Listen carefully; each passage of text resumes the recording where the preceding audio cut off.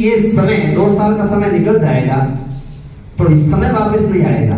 मैं तो कहता हूँ, दो महीना भी अगर निकलता है तो हमारे लिए एक दो, बीस सालों का वो पीछे में लेके जाएगा। शिक्षा रही बात संस्था की, वो अपने अखिल भारतीय राजपुर समाज विकास संस्थान के माध्यम से ये काम करना चाह रहे हैं। तो किस भारत के किसी भी ज़िले से, चाहे वह जैसलमेर जिला तो भी उनसे हम पैसा ले सकते हैं यहाँ पर काम। क्योंकि अखिल भारतीय ट्रस्ट काम कर रही है यहाँ पर। और एक दूसरा, इस शिक्षा के लिए फंड तैयार कर रहे हैं अभी हम। क्योंकि हर मठ मंदिर के पास में भी अपना अपना फंड है।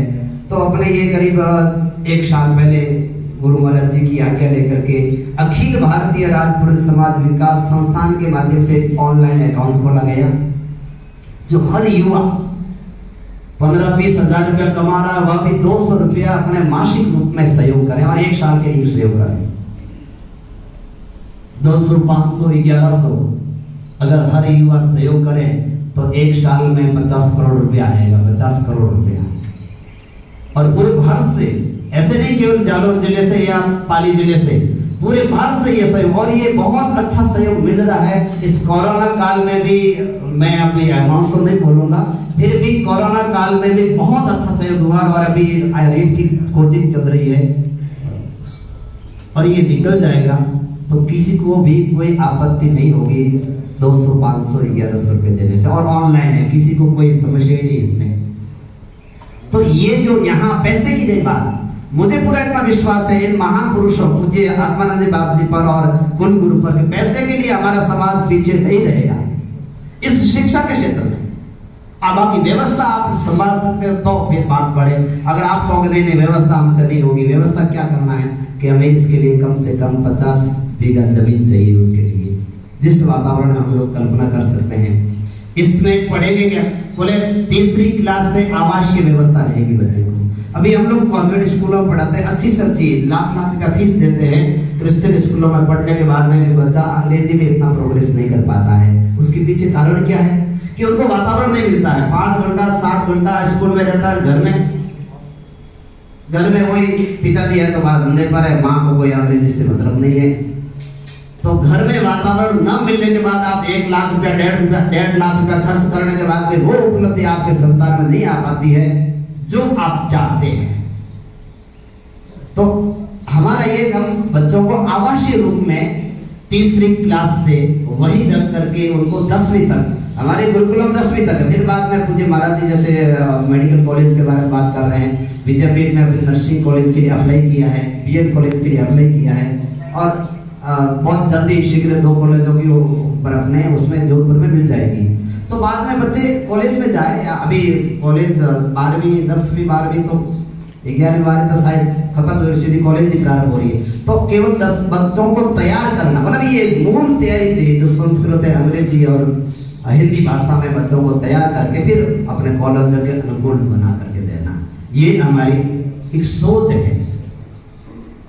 तो इसमें पहली और दूसरी क्लास से हम बसों की व्यवस्था करेंगे। गाँव गाँव से तो डे बोर्डिंग जैसे होता है, बच्चा आया सुबह। जलपान भोजन नाश्ता सब कुछ बच्चे का वही वहाँ का होमवर्क भी वही और शाम को बच्चे को अपने घर बस से बाहर पहुँचा दिया जो पहली और दूसरी क्लास के बच्चे। तीसरी में आते ही बच्चे को वापस वही आवासीय रूप में स्थायी रूप में आ, उनको रख करके अध्ययन कराना दस साल तक की अपनी योजना दसवीं तक। दसवीं के बाद में अगर बच्चा स्कूल कॉलेज जाना चाहता है तो अपने विश्वविद्यालय अपने समाज की स्कूल है और फिर यहाँ पर भी कॉलेज बन जाएगी तो बच्चे को हम वहाँ पर भेज सकते हैं। ये मतलब स्पष्ट रूप में किसी के साथ में कोई जो है मेरे सामने, मेरे भाव है, वो आपको सामने स्पष्ट करता हूँ। जोधपुर में कमी नहीं है। यहाँ पर है कमी दिख रही है और आप भी अनुभव कर रहे हैं बच्चों के लिए। अब बच्चों को आप बाहर विदेश, अपने प्रवास, प्रदेशों में बच्चों को पढ़ाते हैं, पर आप अभी संतुष्ट नहीं है पढ़ाई से और हम भी देख रहे हैं कि बच्चों बच्चों का जो बचपना है वह चला जाता है इस अंग्रेज़ी के दबदबे में। और वो अंग्रेज़ी पढ़ भी नहीं पाता है। इसीलिए इसकी आवश्यकता अगर आप लोग अनुभव करें, क्योंकि समाज का विषय है हम बना भी लेंगे, पैसा भी कहीं से भी ले आएँगे, व्यवस्था करेंगे। मुझे पूरा विश्वास है कि अभी इस शिक्षा के क्षेत्र में कहीं कमी नहीं रहेगी। ऐसे बाबा साहब अपने समाज के हैं एक एक व्यक्ति बना सकता है। ये चार पाँच करोड़ रुपए की क्या चीज़ है अभी? इतने सामर्थ्य, ये कुल गुरु केदाराम जी बात जी और पूज्य आत्मानंद जी महाराज जी ने दिया है। एक अरब रुपए का भी अगर समाज काम करे तो उसके लिए कमी नहीं है। अभी इतना सामर्थ्य अपने समाज के पास में है, पर जब आप ठानेंगे तभी संभव हो सकता है।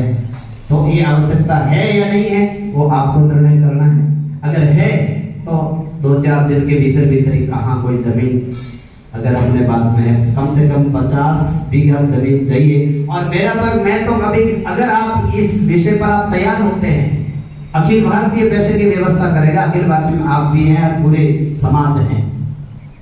तो दो महीने के भीतर भीतर ज़मीन की व्यवस्था करके चतुर्मास के अंदर अंदर अंदर चतुर्मास पूरा होने के बाद में तीन महीने में बिल्डिंग बन जाएगी। दो सौ बच्चों के रहने की व्यवस्था करनी प्रारंभ में।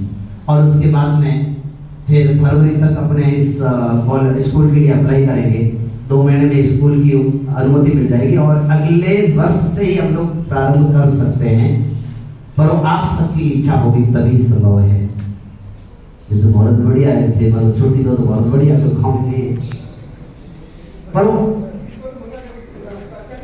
अरे इसलिए आप मतलब मैं मैं सबके मना तो किसी ने नहीं किया है पर आपने मतलब मेरा जो स्पष्ट बात है वो सबके सामने खुल करके मैं अपना आपको वक्तव्य रहता मतलब आपकी मैं निवेदन समझ गया आपने कहा मुझे महाराज जी ने भी कहा।